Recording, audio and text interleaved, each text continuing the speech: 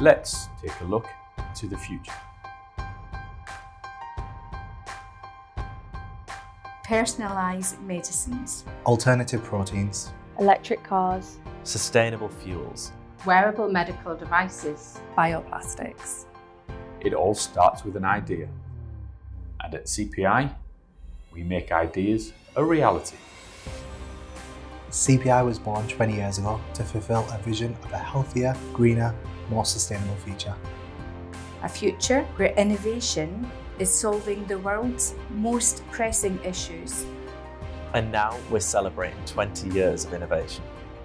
20 years of ingenuity, science, disruptive science, expertise, collaboration, diversity, 20 years of creativity, progression, ambition, 20 years of impact.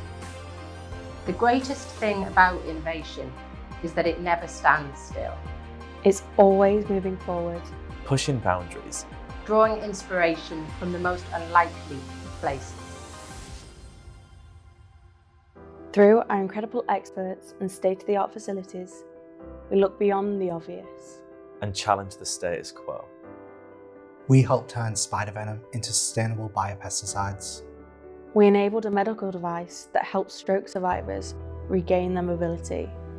We supported the development of the first oral capsule to treat inflammatory bowel disease.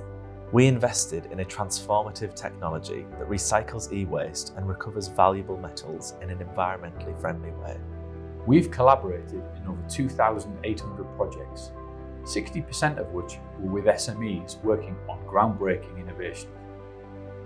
We were born in the Northeast with a small office and a clear vision.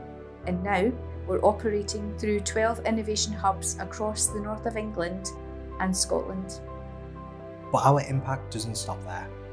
CPI is a convener, connecting the dots between industry, academia, government, entrepreneurs, and the investment community to build a better collective future.